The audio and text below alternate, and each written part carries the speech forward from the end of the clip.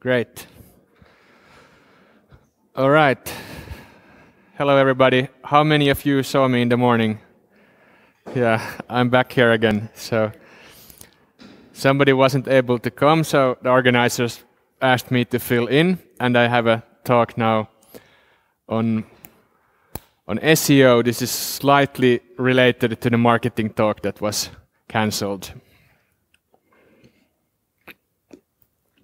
But it's quite a technical angle. All right, so my name is Otto. I work at a company called Seravo. We do upkeep for WordPress sites. That means that we don't, we're not a digital agency. Our focus is more on, on maintaining Linux servers and on the technical side of security, scalability, performance, and things like that.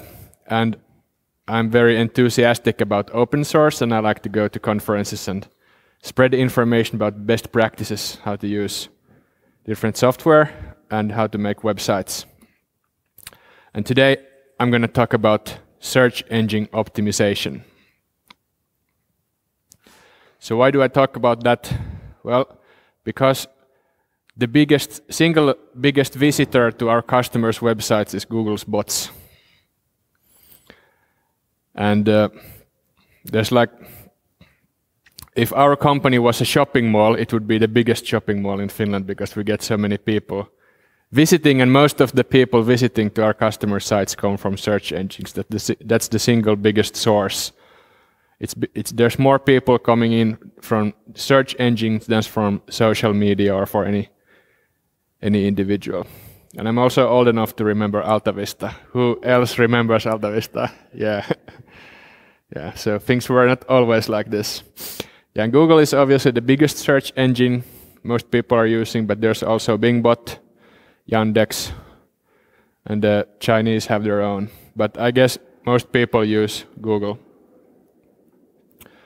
All right, so I'm going to give some tips about how to make sure that you don't ruin your search engine visibility, because you can do some mistakes that will penalize you, but there is no magic you can do to get the spot number one. If you want to be on Google's first page for a certain term right now, right here, then you just, the only way to do that is to buy ads. Go there. And uh, there's lots of people who claim that they know what tricks you can do to play Google's algorithm. And somebody might know something for a short while, but Google changes their systems all the time. So it's very difficult to play it. And if they realize, if you get caught for playing, trying to game, game their algorithm, then they will penalize you. And so whoever site you are optimizing will then be out of business. So therefore, the ground rule for search engine optimization is to just make good websites and if humans like it, then search engines are likely to like it as well. Because the job of a search engine and for a search engine company, their product, the goal for their product is to show relevant results for their customers and they want to give their own customers the experience that if you ask something for Google and Google gives you this link, go here and read, then you will be happy that what you went and read was actually relevant and good content. So this is the ground rule. Just make good websites and good content, and Google will, the better their algorithm get, the higher they will rank you. And then to the details. So first of all, I would like to congratulate you for choosing WordPress, because WordPress is actually out of the box pretty good in terms of search engine stuff, and the standard themes are pretty good in how they work. And in general, also, if you think about an online strategy and you like want to have an e-commerce and you want to have a blog and you want to have some like special content and stuff, then WordPress is a pretty good platform to build on because you can have in the one and same site, you can have integrated all kinds of content and e-commerce in the same place. So you will then build the reputation of one single website. And usually it's better to have one big website that's really good than to spread out and dilute your content and visibility. And here's a good talk.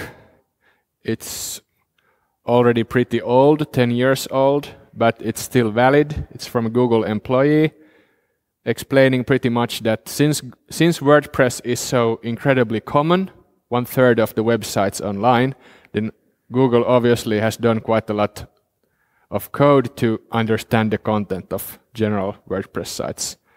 And also, WordPress is pretty good at all kinds of web standards and stuff by default. So out of the box, it works well, and Google is capable of indexing and, and searching WordPress sites well. All right. So there's lots of things you can do to improve SEO and to more like grasp what the things are and categorize them. I've made these four steps of maturity regarding SEO. So the first level is getting acknowledged. And that's pretty easy. You can submit, if you have a completely new website, you can submit the address to Google, and then it will start indexing it. And even if you don't submit, sooner or later Google's bots will find your website. So that's not a problem. The second level is to ensure that the search engine bots actually can crawl your site and, and find the information that's there. So to ensure that, you could have a look at your robots.txt file. How many of you have heard about the robots.txt file? Yeah, almost everybody. I will tell a bit about it. If you have a sitemap, then that will improve how search engines find your content and make sure it finds like all content. And then in general that your site works well, it doesn't have errors and the links work correctly. That will make sure that your site gets fully crawled. And then the next level is that your content, the semantics of your content is correct. So when the semantics of your content is correct, then it's possible for the computers and the search bots to understand what is the content you have on your site and then kind of better match that it's relevant to what the users were searching. And there's a lot of couple of techniques listed relevant content, semantic structure, microformats, pretty URLs. How many of you attended the accessibility talk before this one? Yeah, so accessibility is really good because if, if a site is accessible, it's automatically also has the correct semantic structure and it's not, it's just, it's not just disabled people who will be better at understanding what's the content, also search engines will be better at understanding what's the content. And then the third, fourth level of maturity is that Google not only knows every, all content of your site and knows understands what it's about, but it also thinks that it is good and something that should be given out to users when they want this type of content. So there are things Google use to increase the ranking the first thing is obviously what Google was, was what was Google's original idea to use this PageRank algorithm, but there are also other things they look at how how fast the site is and it's technically well designed, it's responsive design and, and such. And these are the parts I'm going to go through, especially in the WordPress context. If you own a WordPress site, the, what are the things you should know about SEO? So let's start with what's built in to WordPress. So how many of you have seen this in your WordPress settings? Search engine visibility. So you should be aware that there's this tick box you can check in. So if you check this, then what it means is that the robots.txt file on your site will then disallow all search engines from indexing your site. So you can use that, for example, if you're building a new site and you don't want people visiting that site before it's published or or whatever reason you have. And you should know that this setting exists so that you don't accidentally have it on in production on a real site which you want to have good search engine visibility. And then another point this file, uh, this slide illustrates is that in WordPress, the robots.txt, it's not a text file on your server. It's something that's generated on the fly, just like all the other pages on WordPress.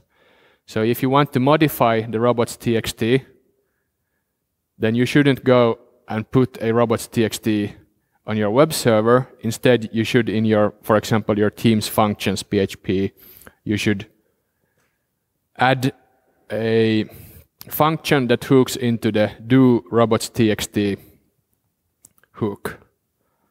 So here you can see a code example of that.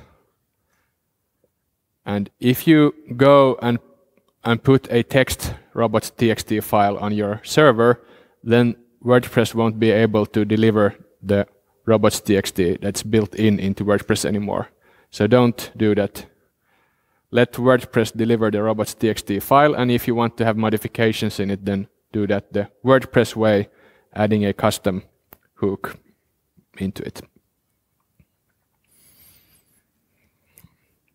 All right. And then a second thing that's built in into WordPress. So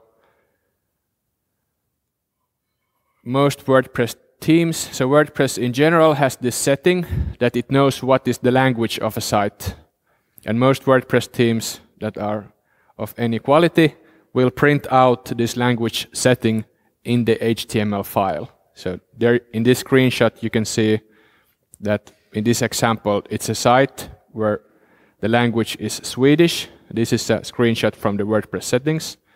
And then when it's put to Swedish, the page will automatically tell search engines that the content is Swedish. So this helps search engines understand what is the language of your content. They can obviously also auto-detect it, but this helps things. So if you have, if you're doing a German site and you want specifically to be visible in google.de, then make sure that your site has, in the markup, it tells bots that the content is German, in German. And then one more thing that's in WordPress built in, well, kind of built in, is pretty URLs. And I hope nobody is using those question mark p equals something anymore. So maybe three, four years ago, it was still pretty common. Nowadays, everybody should have be, should have pretty URLs. It's a server configuration thing. If your server doesn't support pretty URLs, then you really need to change your server environment.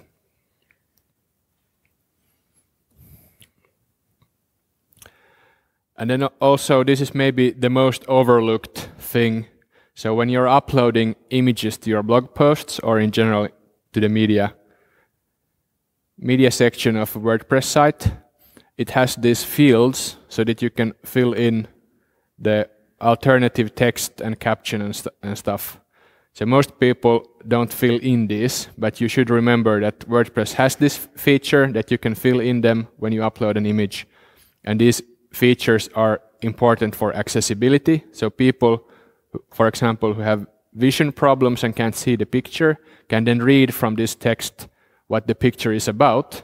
And also search engines will read this text and use that as a hint what the picture is about.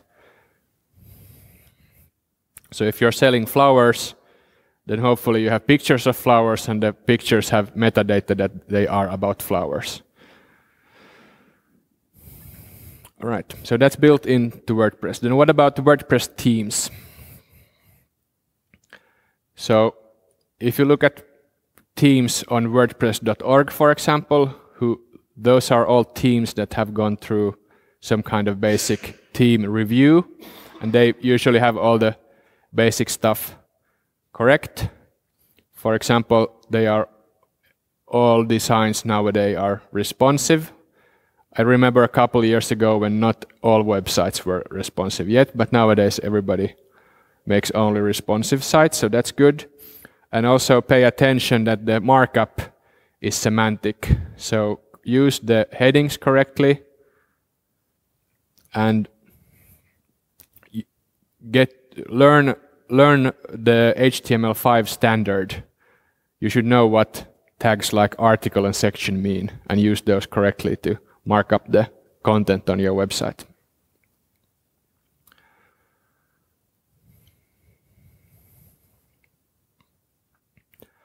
And there's also things like microformats and schema.org vocabulary. Does anybody know what microformats are? Yeah, a couple of people. So in, in the HTML standard, you have words like article and section. Those describe what the content is. But then you also have microformats that describe like more specifically that this section is, let's say, a recipe, or this section is an address, or this section is a, is a price of a product. So if you do your own themes, then learn HTML5 and also look into microformats. I have another slide about microformats soon. Um, how many of you use advanced uh, custom post types? Yeah, how many of you code custom post types? So here is a snippet that if you make your custom post types in code, then please pay attention to these settings because these define if that post type uh, is visible in the sitemap and if it if it has archives and by extension if it's visible to search engines or not.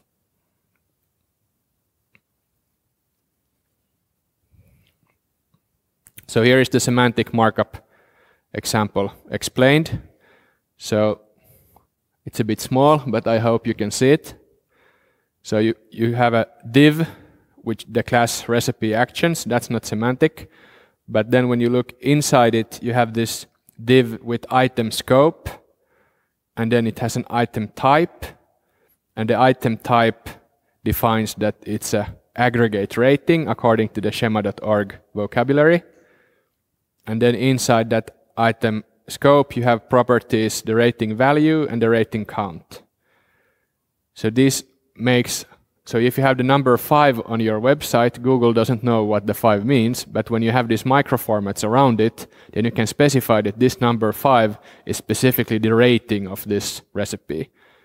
So if you, if you Google for pesto a, as an example, then you will get pesto recipes, and if you look at, look at this Google search results, they will show these stars. That's the rating. It will tell how many reviews it had, how long it takes to cook, and things like that. And Google knows these things based on microformats that are embedded in that recipe on that website. So if somebody specifically wants to find a pesto recipe that takes less than 15 minutes to make and has a rating of 4.5, then Google basically, if they have advanced stuff, they can use this extra metadata to refine the search. But otherwise, they would probably just show the high rated recipes first. All right, so that was about WordPress core and the plugins, uh, sorry, the themes. And now let's move on to SEO plugins. Now, how many of you are using Yoast? Yeah, almost everybody. That's a very, very common plugin. But in my own opinion, I think it's a bit too bloated. It has too many features and uh, it has all kinds of uh, slightly annoying advertising and stuff built in. So my own favorite is this plugin called SEO Framework. And I like it because it's the code is smaller, it's leaner, so that also has an effect on your website performance, that your website loads much faster than if you have Yoast installed.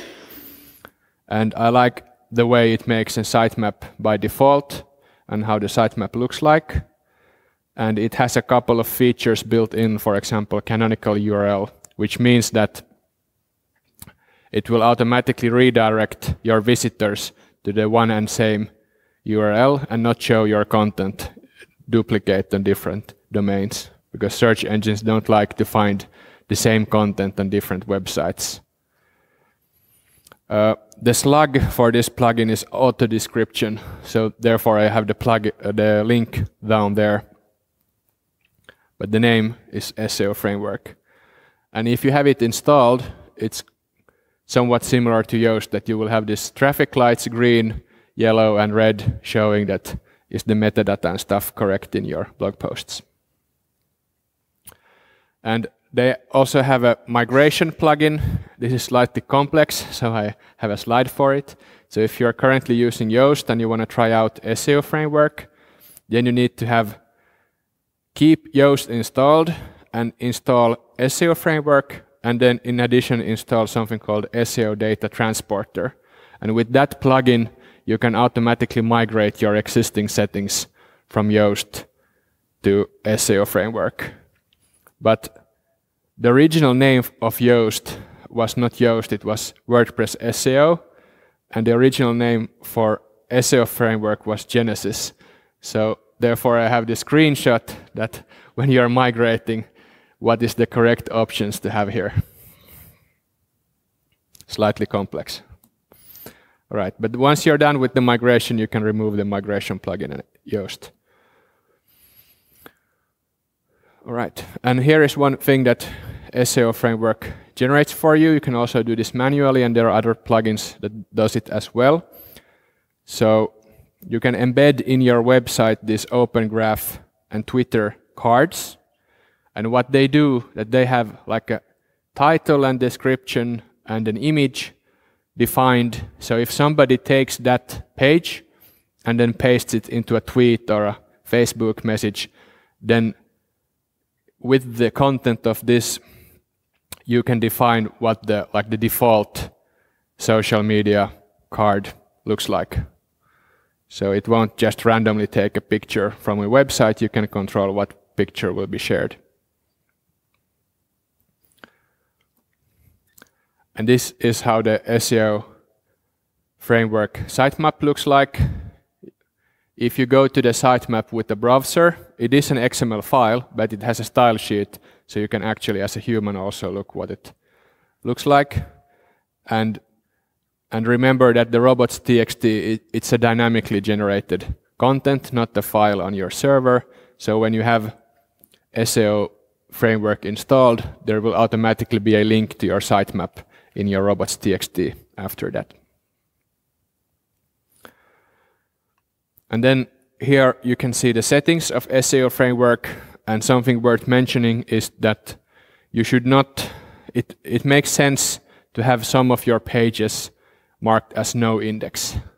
So no index is a setting that tells the search engine robot that don't browse these sites and don't save them.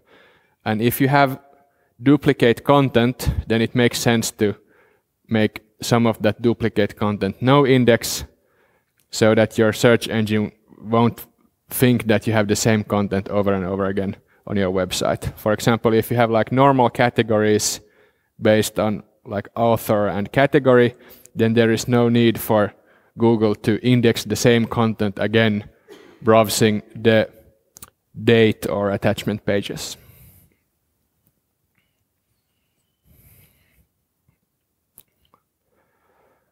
Then there's also something called AMP, Accelerated Mobile Pages. How many, how many of you have heard about this? Yeah, I don't, I'm not particularly keen about this, but regarding SEO, I think it's something that needs to be mentioned. So Google is pushing for a new, new uh, subset of HTML and, and JavaScript and CSS. And the idea is that if you use a limited subset which has less functionalities, it's easier to cache the page. And what Google wants to do is cache cache all the pages on their own servers so that when people go to Google search results, then Google can immediately show the page to the visitor without having to wait for your server to generate the content. And uh, kind of means that there will be a normal version of your content and then the AMP version of your content. And I don't think that's a good idea. It took, we had this like in the end of the 90s already that we had separate mobile pages. And we finally, after many years of work, all the pages nowadays are have responsive design. So I don't like the idea of going back to have two separate designs. There's also something called native AMP, but anyway. So here's an example of it in action. On the left side, you can see a page visited like on the how it looks normally on a on a narrow screen.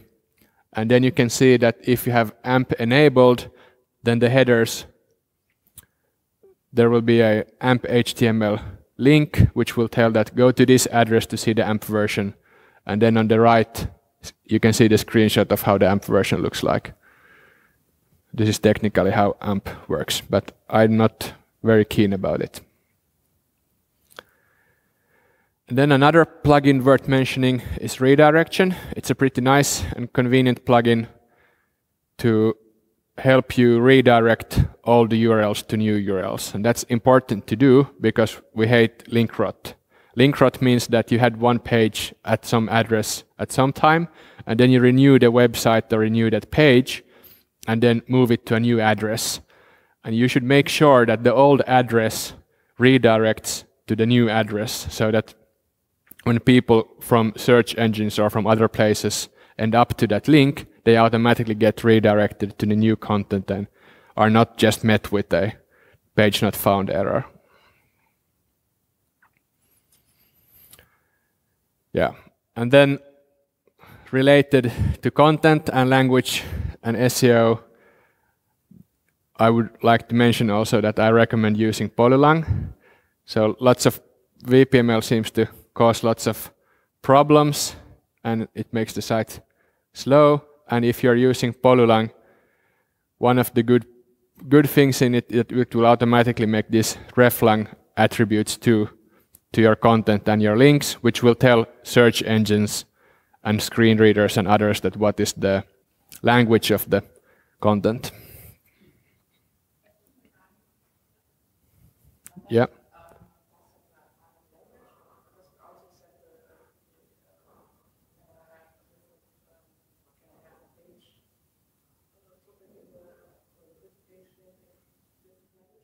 You mean the slug? Yeah, so the question, if I understood it, is that can you have the URL translated as well? That's the, in WordPress terminal, it means the slug. So, uh, yes, you can have, yeah. All right. And then, as a last note, so Google ranks sites based mostly on how popular they are and how much links they get from other reputable sources.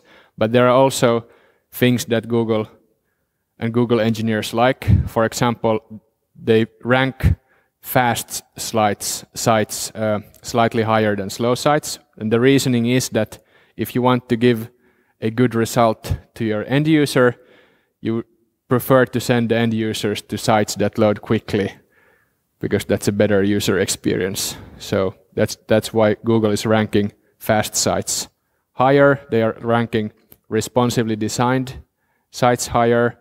They are ranking sites that have HTTPS protection higher.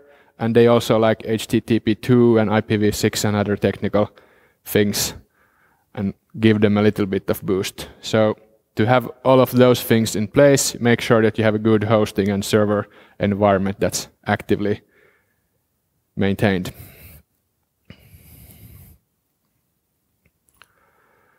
So to summarize, in the WordPress context, these are the things you technically make sure.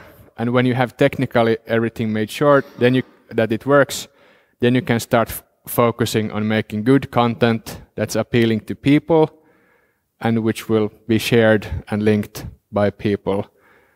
And that's out of the scope for the talk today. But getting these technical things right is pretty easy, and it's really sad to see if people have made great content, but then they have made some mistake on the technical side and therefore they are not being indexed or, or ranked correctly. All right, that was it. Thank you.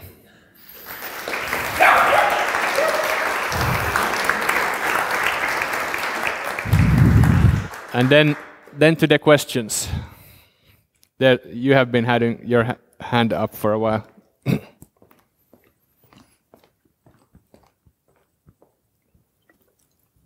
Um, you talked about the multilingual plugins. Um, which alternative uh, have, or which plugin is good to input more languages in the website? Uh, sorry, I didn't understand your question. Uh, can you please go some um, sliders back?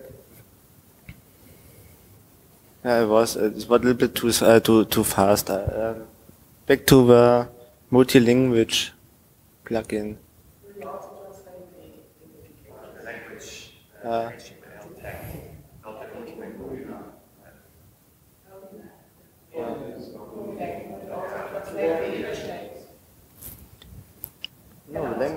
language plugin for more languages at the end.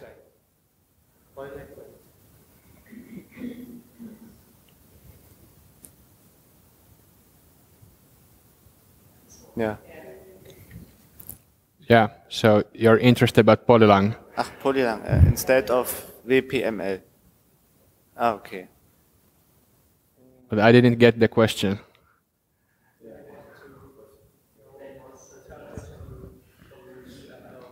Yeah, so alternatives to WPML, so it's Polylang, and then there's also uh, something called multilingual press. And I think some people from Inpsyde are here at this conference as well, so they can probably tell more about that.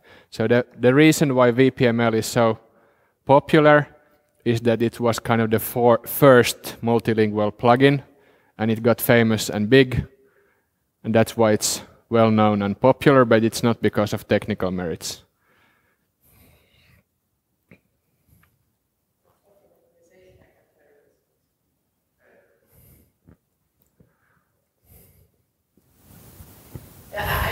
Agree because I, I, we are creator of a software localization tool and it's not good. it's just um, that's all.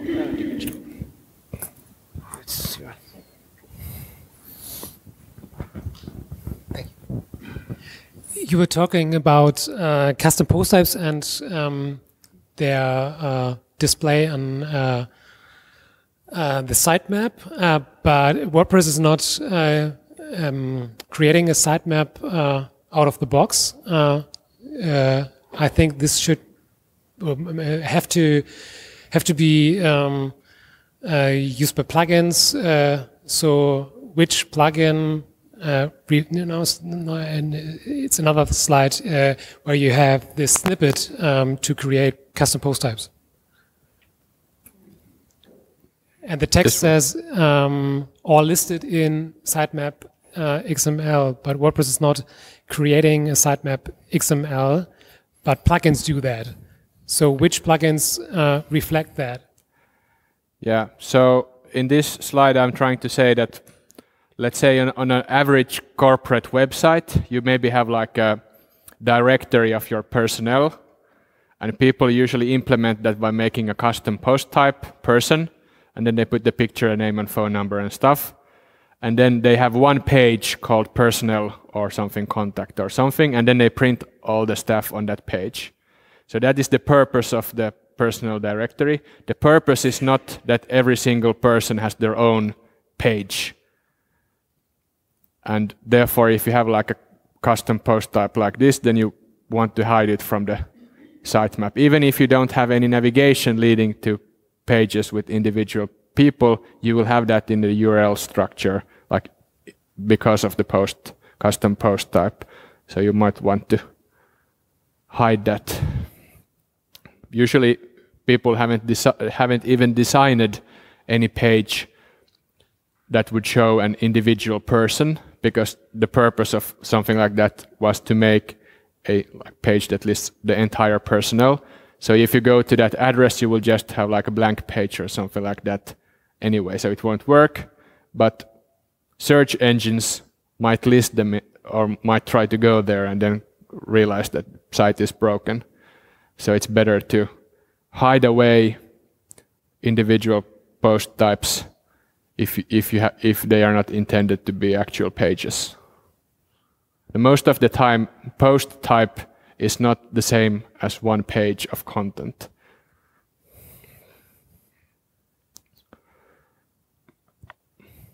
Yeah, and uh, about the plugins. So thi- this is how WordPress works internally. So this setting is not related to plugins as as such.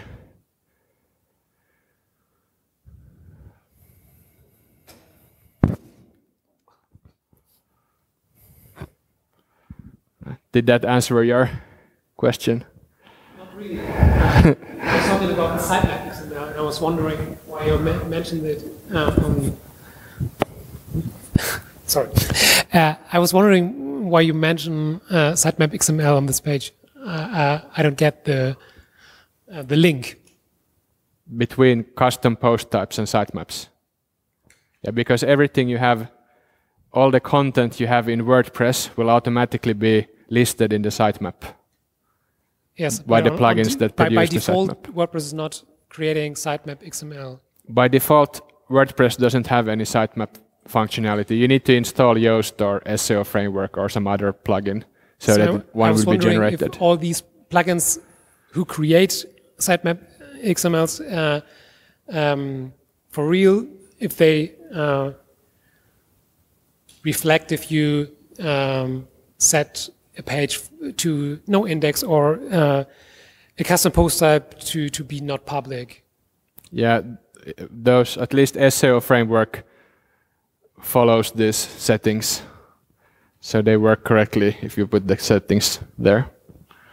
Okay.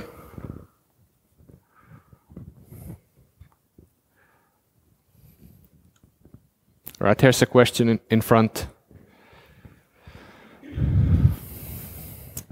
Um, I'm not sure whether I understood well. Um, you recommended to install the three plugins for SEO Yoast um, and SEO Framework and uh, SEO Data Transporter together to install all the three plugins together. Or this is this slide is for migration. Yeah. So if you are already using Yoast and you're interested in migrating to SEO framework, Yeah. then you need to have these three plugins installed at the same time for the duration of the migration. But once you've done the migration, then you can remove the excess. Ah, okay. And if you don't have any uh, SEO plugins at the moment, then you just go, uh, in my recommendation, just go and install SEO framework and nothing Mm-hmm. else.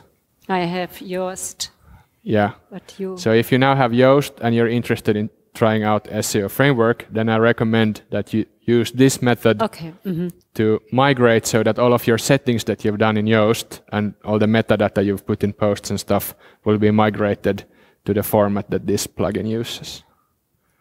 And this slide and everything else, I will put put up a link to the slides on my Twitter account, and this is my Twitter handle after this talk, so you can find the slide slides from there.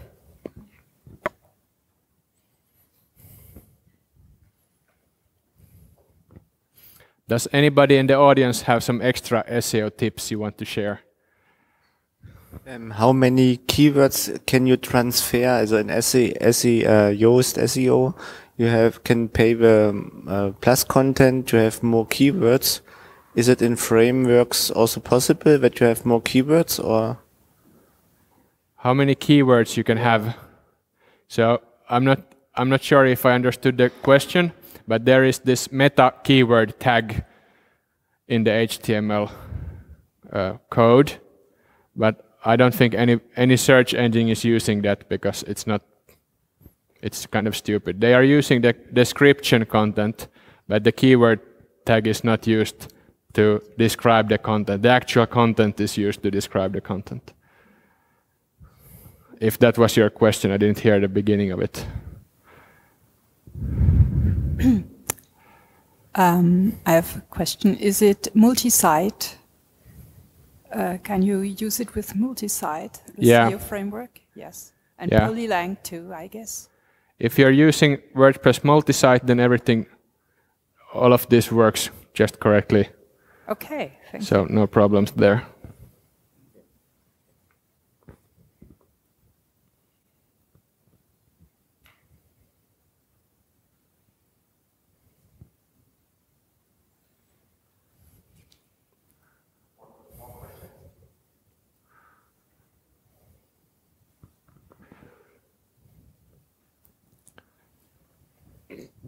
All right. Thank you.